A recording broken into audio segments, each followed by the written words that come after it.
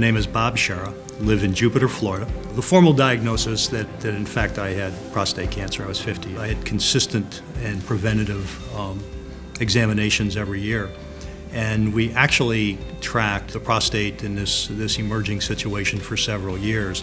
First in, in the form of examination, and then when my family doctor said, I think this is the point we need to bring in an outside expert, went to a urologist, uh, ended up with a biopsy, and um, actually tracked the biopsy for almost a year, and then through a second biopsy and confirmed that, uh, in fact, this was a cancer diagnosis. I can't quite explain how I felt. Um, I knew when the doctor walked into the room, just by his demeanor, that this was not going to be good news. And once he said to me, uh, unfortunately, you have, and I think that's the last thing I heard. Once I knew, um, I didn't waste any time because I had concern, of course. And one of the things that is difficult to assess is, is, is this something that you have to attend to immediately? Can you, can you watch it and, and you know, uh, have pro, you know, proactive surveillance? And not only do you have to research the disease, you also have to research the type of, um, of care. And there's different approaches to, to prostate cancer.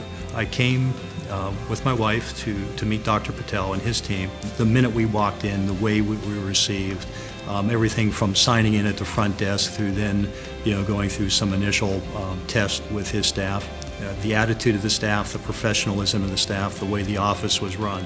Those things, even though they're, they're before you ever meet a doctor, are important in terms of forming an overall opinion. We had forwarded my medical history, the biopsy reports, to him, so he was knowledgeable of my particular case, gave me some very specific input, and offered that he would be there to answer any questions I had. He, the only type of surgery that he was offering um, was the robotic surgery, the Da Vinci surgery.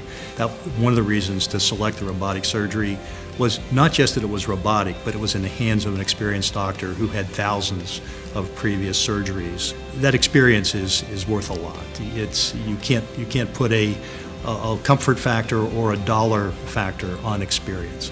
And, and that's what Dr. Patel brought. We came into the hospital the day before, we had the surgery, um, the same day as being admitted into the hospital, and I was discharged the following day.